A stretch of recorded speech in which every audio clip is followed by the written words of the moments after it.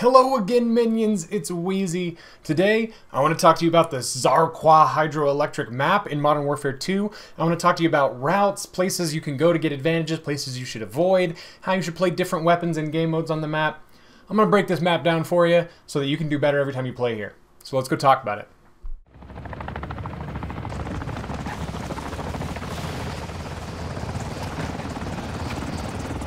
Okay, minions, so here we are on Zarqwa. I did this in a private match. I've got domination set up just because I think on most maps it kind of in terms of domination points to help kind of anchor my references. So here the game's brought us in on the A side. So I want to just kind of walk you through the map, show you things that I think are helpful to me that I've learned playing the maps, I'll show you some tips, maybe some jump spots that are useful. And one of the places to start here is opening routes for me on this A side and even from the C side.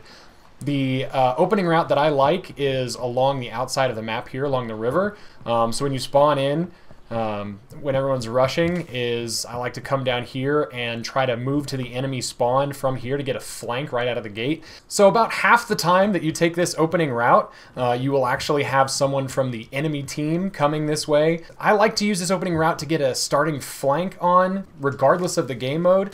Um, so just be aware as you're coming from this side. Pay attention to any footsteps of anyone moving up there to maybe get an angle on you down here, um, as well as Typically, when you get about here, if you're rushing, if someone's really rushing this route, that's about where you'll run into them. So be ready to fight right about as you get to this point. Listen for footsteps. And then as you're coming across here, this water obviously is going to make a splash when you get into it. So what I try to do is jump across as much as I can to minimize that splashing sound. There is a jump up here to kind of move into the enemy zone, but I find that this is actually dangerous because the way people are moving or rushing, they may already be set up there, or they may just happen to be moving by here uh, or setting up around here when you climb up. So I, I tend not to like this point for climbing up. I typically like to rush past here, um, and this is usually the route that I'll take first, just to check and see if anyone's coming from the back of their spawn. By the time you get here, they shouldn't be, and then I'll turn and come up here. That way, if anyone is set up along here, you can get an easy kill from them in the back. And if someone is moving up from your left and you hear their footsteps coming, you should have an, the surprise and some advantage on them uh, as they come around uh, this way, and you should be able to win some of those fights. From there, I will usually push up on top of this and just kind of get a lay of first I'll check and see if anyone's come up here. This is a popular spot to come and overlook the B flag. And this will apply to, I think, most game modes, um, not just domination. So even if it's team deathmatch, kill confirmed, someone will typically be up here looking for people moving across the middle of the map and in hardpoint similarly, depending on where the first hardpoint spawns, people do tend to like like this position for overlooking the map. So when you come up here, check first to see if anyone's up here, um, kind of scout out where people are, and then you can start to move in here, see if anyone's moving from across the water. Pay attention to footsteps and see if anyone's coming from up these stairs. If you hear metal clanging coming from out here, I wouldn't even press this. I would just wait for them to come to the doorway because they won't be expecting you. Whereas if you start moving towards them, then they'll probably hear your footsteps coming towards them. Um, from there, I'd wait, and then you can overlook here, see where people are, and then you've got a couple of options, right? Depending on the game mode, depending on the situation, you can either move down here and try to get kind of a flank behind the C flag or where the other team may be setting up in that building, uh, or you can overwatch where I first showed you, or try and move down uh, into here and see if there's a point to press here or if you can push from the rear. So that's kind of my opening route there. Then obviously it'll change depending on where the team is. That's my opening route from the A side. So from the C side, I like that same basic route. And you can either spawn and push this route towards really the A flag, which is the most popular route. People either like to come up uh, and take this window or just bust straight through this door and rush straight at the enemy. I find that that has mixed success. You may get lucky on that, you may not. Um, what I prefer to do is rush over here as quickly as I can to get back to that other route. I will, when I'm coming through here, I'll peek and see if anyone's rushed straight across there so I don't get killed here, and then I'll try to get over there. Now, you got a couple of options getting over here. Again, you're trying to avoid a big splash in the water in case someone is pushing down on this side so that they don't hear you coming. Basically, you need to get a sprint, and then you can kind of catch yourself on that ledge, and if you do it right, you won't splash into the water there. Um, similarly, you can also Um, if you want to push up a little bit further here and then maybe decide late that you want to take this route, you can kind of push around from the side. And if you do that, jump right, um, you can also catch that ledge without splashing down. But um, again, same as from the other side, about half the time you're coming through here, you'll probably reach this first. So basically, as you're coming up onto this ledge is about when the enemy, if they're rushing this route at the beginning, will approach you. So whenever I come around this corner on an opening route, I like to be checking for people as I'm coming through here because they will either be coming already around the corner, in which case you can hit them right there moving towards you, or they may potentially be um, pushed up onto this ledge, which you can jump off from here, and that gives you kind of a, a spot for where people are crossing here. That's less common, at least straight out of the gate.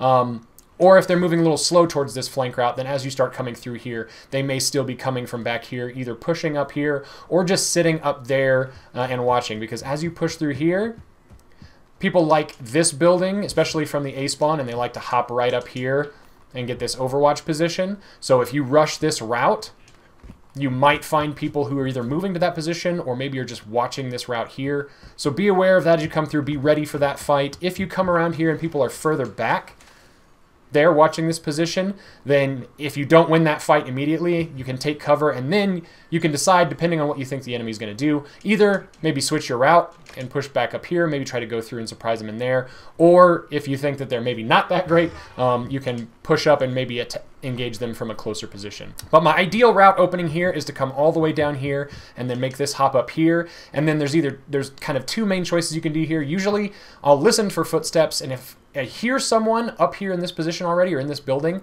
then I will typically try and get them from behind, try to get a surprise attack. Someone up here feels like they're in a pretty strong position and at least they have an overlook. But when you're coming from down here if they're up there and they're just sitting at that wall instead of doing this mount here if you just kind of get in the practice of jumping into uh, that window you come up here you can kind of hop right up into the ledge. That way you can get a good angle on them right out of here. And also if you do that instead of like mantling all the way through the window if you can catch this ledge, then you can mantle quickly onto there and onto there if you're trying to get up here, maybe for a cheeky execution or something like that. But I'll check that, and if there's nothing there, sometimes I will either come up here and check and see if A, maybe they're late coming out of spawn. There's a good chance they've probably mostly pushed that right side. I'll also check and see if anyone's here, maybe pushing the B flag or pushing towards our spawn. You might be able to catch people from behind. So I might come and check that, but that becomes a risky spot, especially if this is still their spawn.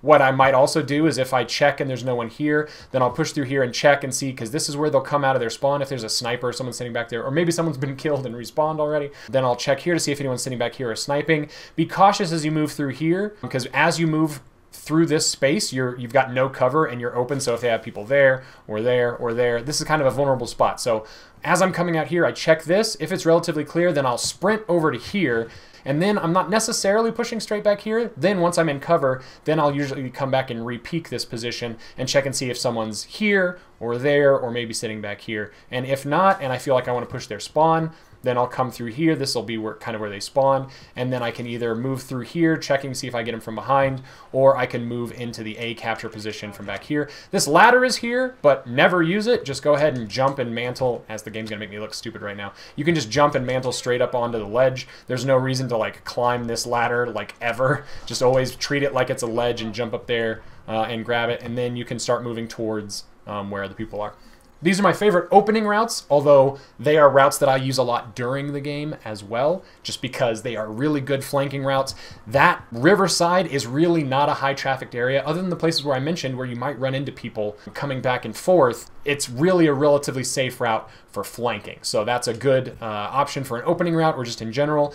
Most people will tend to stick either to this building or fight over maybe this building and then kind of the middle area. So one spot to be aware of is as people come up here, you can get up to this dome which has kind of overlook positions here and here. This can be useful for a short amount of time if you're expecting a push here or you're guarding a particular hard point. Maybe there's a hard point down here and your team is already capturing it and so you just want to defend your team as they're capturing it.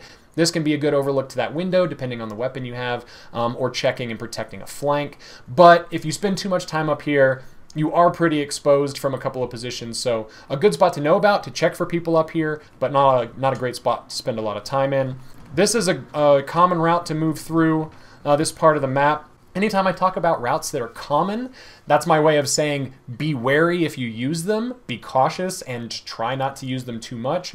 So if you need to move to this side of the map, the way that I typically do it through here is coming around here because most of the time where you'll run into people is overlooking in that window or maybe pushing from across here. So if they're pushing from that building, this gives you some cover when you come around here so you can check that window. Also, if people are pushing through here and you hear their footsteps, there's a good chance they're going to pop out over here. I like moving through this route. If you come through here, you are very exposed. There's not any cover here, and anyone that's along here using this as cover can see you. And the same thing with going through the dome. Like I said before, you're exposed. So, and from here, you know, there is a lot of open space. You typically want to stay out of these middle routes unless you're just really confident you know where the enemy is. So I'll usually come and check here, and then I'll move over here to get this cover. And then if I think someone might be over here, which is relatively rare unless they're stupid, then I'll check. But otherwise, I'm using this as cover to kind of check people coming through here on my way over there. Something I might also do, if maybe I'm trying to move more quickly, is I'll just duck straight in here and use a little bit of this cover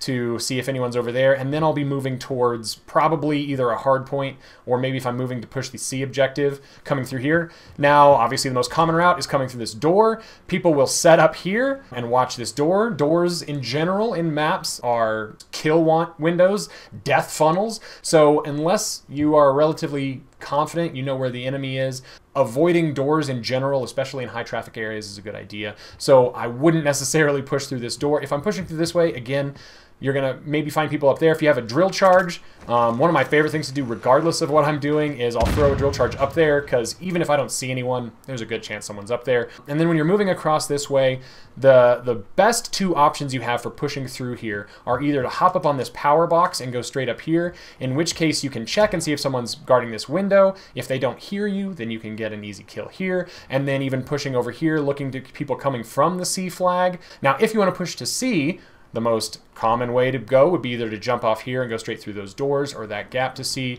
or to go back down the stairs. But again, high traffic areas, those will get you killed. So my favorite way to push towards C from here is you can stand on this ledge and move around this way. And if you run and jump, you can actually jump all the way over to there. Um, of course, when I'm showing you, I'm going to screw these jumps up. In games, I never seem to have problems with this. So I'll be sprinting this way and then I'll jump across and then you can be over here. People will not tend to see you, even if someone is standing watching this door. Um, so let's say they're here and they're trying to guard this area, if you jump down here, there's a good chance that you will catch them off guard because they'll be looking through here and they won't see you coming around. So even people over by the stairs on the C cap, uh, if you take this route, um, you have a good chance of catching these people off guard. And then you've got options uh, from there. And as you may have noticed, the same thing coming from the other way. If you decide to come this route, you can, if you don't want to push straight through here, it's usually safer pushing from this direction because you can watch the door and see if people are pushing there. You have the advantage. If you're trying to move up towards the window, I wouldn't recommend going straight to the window like this because you're huge in the window and people will be always looking for someone here. So if you do want to get up here, even if you just want to use the window, what I would recommend is coming up the stairs and then jumping up here. That way you're not standing big in front of the window and then you can come back. And if you want to check the window, you can do it from further back in a safer position. But otherwise, I would recommend coming either straight through here or if you come over here and you're starting to feel pushes then you can come over here and just walk right along this jump up on this and from these pipes you can either get up here to the window area you can overlook a little bit here as long as you stay far back so that you're kind of head glitching from back here. Um, if you come all the way up front here, you're a bigger target. So you can kind of check this area from relative safety. And again, if you start taking shots, you've got a lot of places to take cover and escape. Or if you're on the pipes, you can even, you know, you can even from here just jump straight across and move into this. Although I don't do that very often. You can also uh, come around through the water and swim and either come up here in this position or swim all the way around. Swimming, especially fast swimming, is pretty loud and you're pretty vulnerable and don't have cover out there. So that is a very situational. If you decide to use the external water on that side, I wouldn't recommend it. Let's talk about another route transitioning through here. Just in general, if you're moving between these two buildings, the best way to do that is this rock ledge here. It took me an embarrassingly long amount of time to realize you could do this, uh, and I think I even figured it out from someone who jumped across in a kill cam. But if you want to move between these buildings, rather than jumping in the water and, and then trying to climb up here, which is slow and loud, you can just simply move across to this ledge there back and forth. So that's a good way to, to transverse these two buildings. Uh, and also, again, keeping in mind the positions you're trying to reach. Um, if you're going this way, there's a good chance you're either trying to push into this flag or maybe even get an overlook here. So then this transitions into those other routes I showed you. Um, going the other way, you know, with that uh, overlook position up there, you can move right on top of this generator to get up here and check these positions.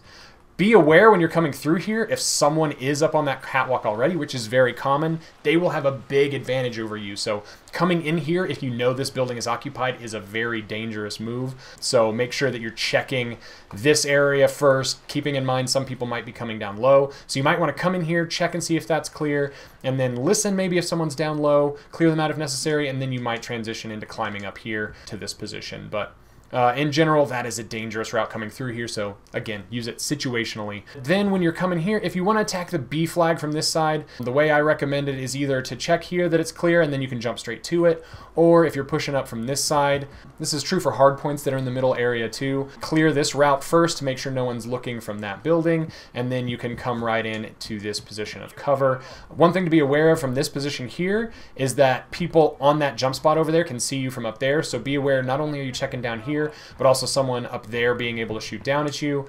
When you get to mid parts of the map, that's where it's very dangerous. So let's talk about the no-go zones on this map. In general, I will say when you've got a no-go zone, don't go there ever unless it's very situational. Either you're willing to take a big risk and die because you need to get to an objective, maybe you're running short on time, or you're really confident that you know where the other team is and that no one has a line of sight on you. This entire area out here is a no-go zone, right? You can check this area from this window if you want to defend the B flag, but then if you want to move out of this area, I would recommend taking either the route up there through that top area and then transition back into these other safer routes, whether it's going to be out to the river and around or out there and around.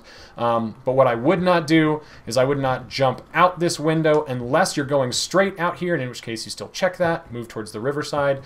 And I definitely wouldn't ever come out here, and I would never, ever, ever use this door. You see this door and this door? Never go through these. These are some of the biggest death funnels in this map. If you come out here, you will get lit up. If you come out here, you will get lit up from that side of the map or from back here from people transitioning across. So don't go through here uh, unless it's very, very situational. Use safer routes to come and attack the B flag. Also, if you're attacking from this side, people on that on the top over there, when you come through, be aware you're going to be coming into the open. So if you want to push through here for expedience, then be careful because you are in a vulnerable position from a lot of areas coming through here. The safer route um, for pushing from there would be to come down here. And then again, check and see if anyone's guarding from back there. If not, then come up here.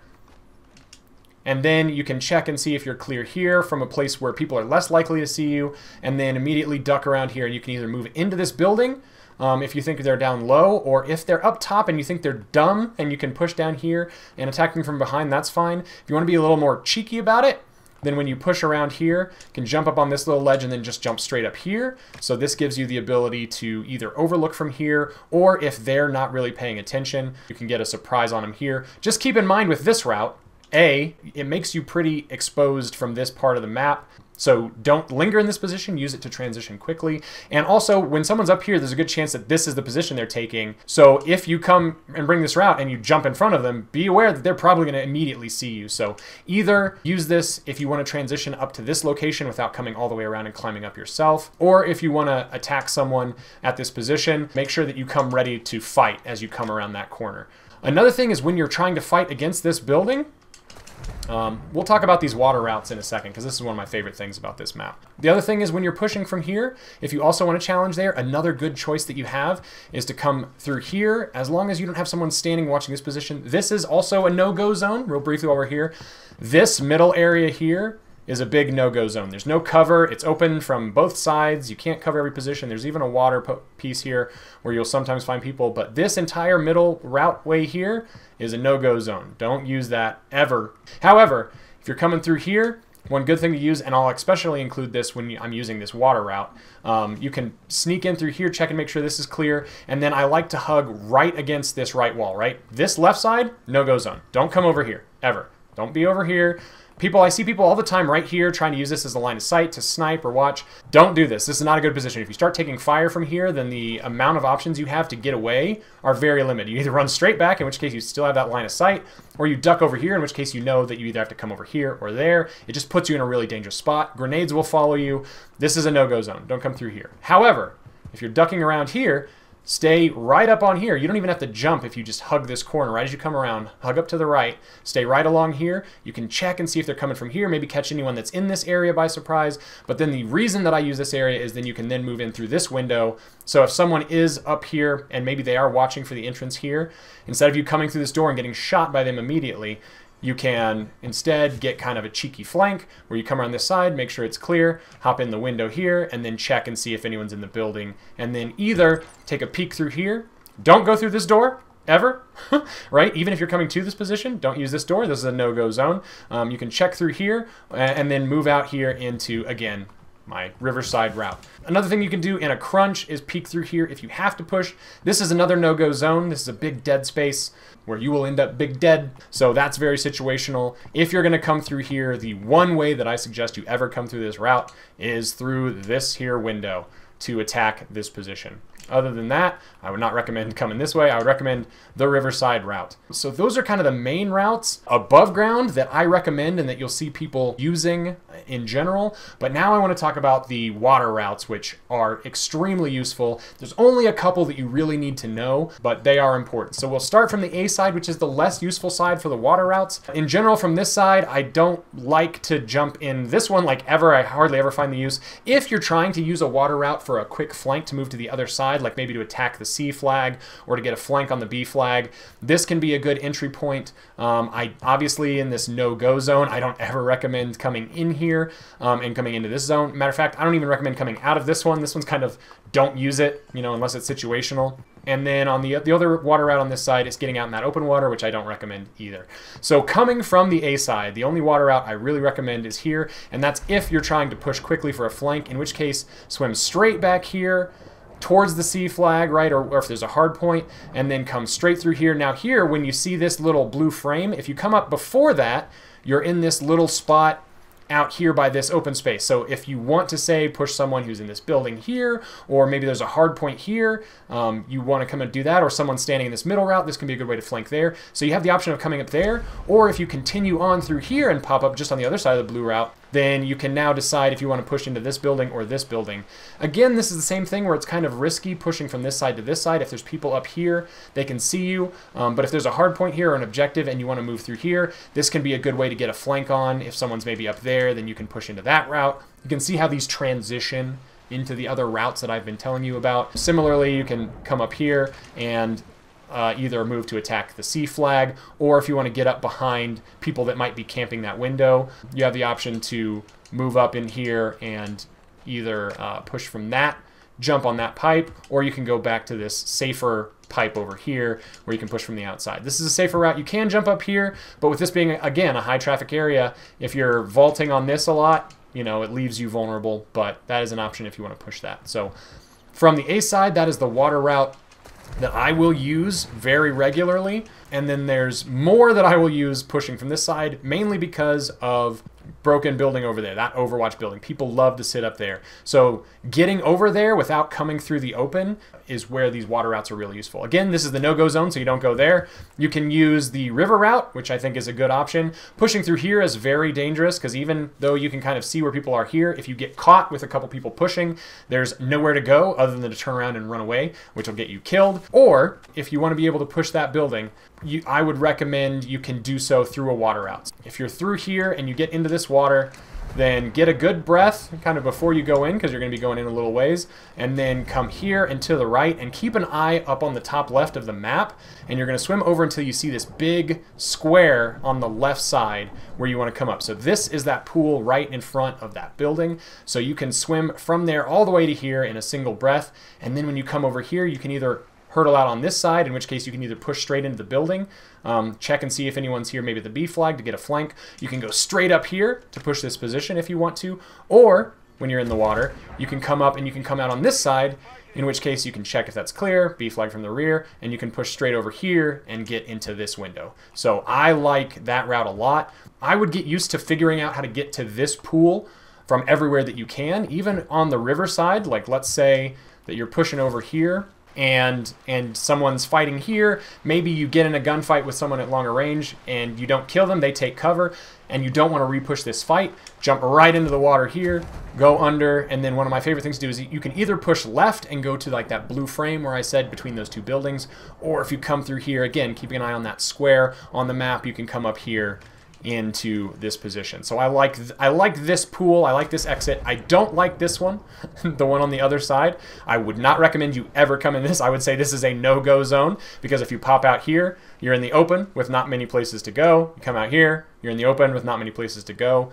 Unless you specifically want to climb up on the B flag from here, I wouldn't recommend it. And even then, if you're going to capture the B flag from this side, I would recommend coming to this spot, hopping up on this side, checking, see if anyone's there, see if anyone's there. Are they guarding here? Is anyone guarding up there? And if not, then push to B from a position of more safety, right? Don't use that pool. Additionally, you can go beyond that to push further back into their spawn. Um, this is a place I do like to use every now and then. Keep in mind this one here in the middle is this no-go pool. If you've got like a really situational time when you want to use this, um, you can, but otherwise I would recommend you don't do that. Uh, instead, and I'll put it where you'll usually run into it. Either you'll be in a gunfight out here and you want to escape into this water, or maybe you're on the other side, those two buildings are back there and you jump into that water. So say you get in a gunfight here, boom, you jump in, their team's pushing, maybe they're setting up a line there, you want to swim through here, deeper into there and you want to learn how to keep an eye on your mini map so you know where you're coming up and you see that little dotted line that's a water pool.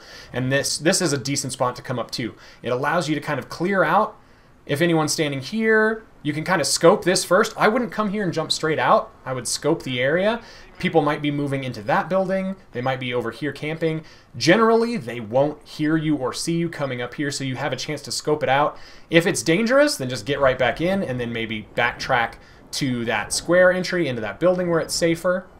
Um, all the way back around here. Again, you can do all these in one breath if you know the routes. Um, actually, I'll just jump out here because it's faster. Versus from here, or you can maybe even come out if you want to and start clearing to see if they're in here.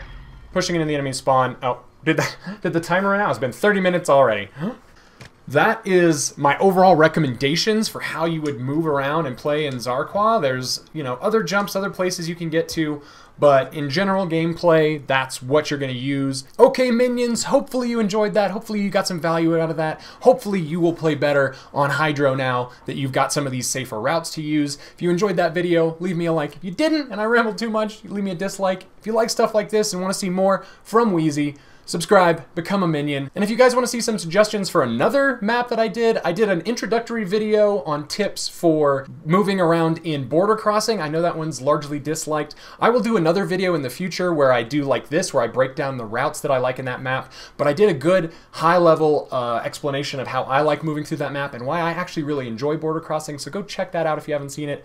Otherwise, I will see you guys in the next one.